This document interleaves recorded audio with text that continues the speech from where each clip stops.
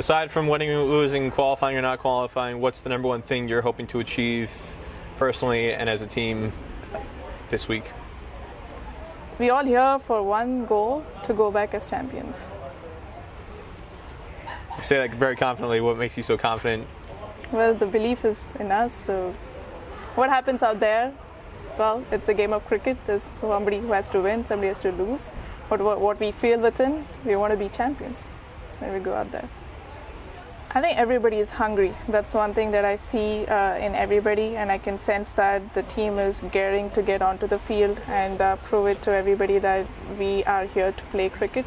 And uh, I see that with everybody. Yes, this is my debut, and uh, it's it's great to be wearing USA and get onto the field, and that itself is an inspiration and motivation for all of us to go out there and play for our country and make us feel proud first and then the country proud and I'm sure that's that's the mindset all of us are here for. Uh, we were aware of how the conditions are going to be over here and I think uh, nothing really changes for us. We're going to go out there and play our cricket. We we want to maximize the number of days or the number of games that we get here we are hoping to play all four games, and uh, even if that means two a day, or even we have to play on the rest days, we are ready for it. We want to go out there, get as much as possible. Considering we haven't played for the five years, we are raring to go there. It looks pretty good. We haven't been able to uh, check out the center wicket. The little bit of practice that we were able to get yesterday, the ball was coming on really well, and I think uh, even I, th- I feel like the ground is also the ball's going to travel faster because of the what, because of what we could see yesterday. I think the facility seems to be good. We were able to meet a few uh, youngsters. They had a female or a, a girls' uh, festival yesterday, so we were able to meet some of the little girls come over here, watchers, and we were able to uh, sit with them for some time and uh, converse with them. So it seems to be they've been doing a pretty good job here.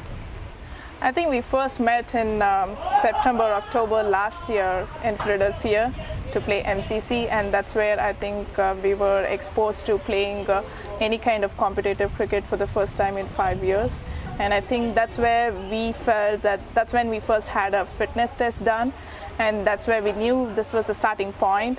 And as we progressed and different camps that we had, uh, we saw that each one of us were, had improved from what we were in Philly last year to what we are today, be it our fitness level, the level of uh, uh, the number of games that we've played from Philly to now, the number of uh, uh, times that we've met together and bonded as a team, everything has only been positives from, from the time that we've met in Philly.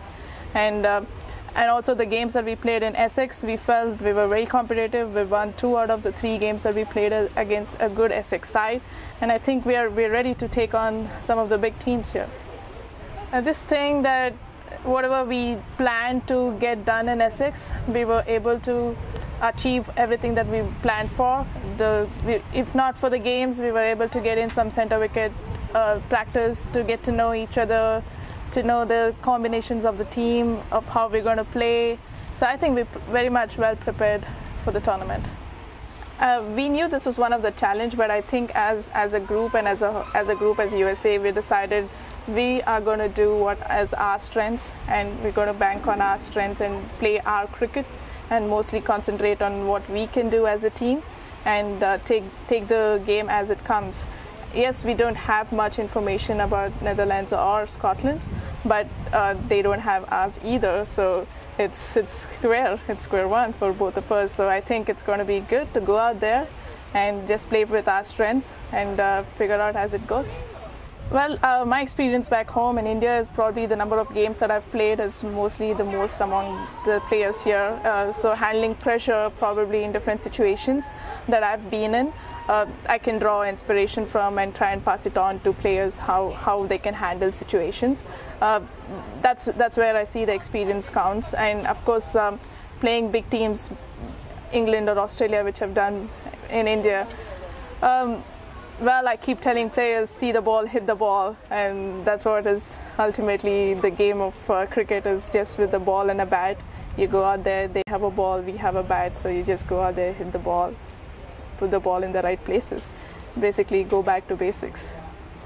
Uh, yes, I know I'm debuting as a captain, as leading the team, but I think uh, I was well prepared for this because I I was informed that I would want, be one of that I would be considered. So in my mindset, I knew it, it would be offered to me sometime down the lane, if not this tournament or you know, in the further.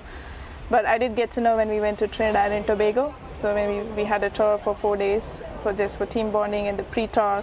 So uh, that's where I got to know, and I, I don't think anything much changes for me uh, personally when it comes to my cricket. But otherwise, uh, I have been leading this team, or I've been leading the, the many club sides from the time I've moved to US.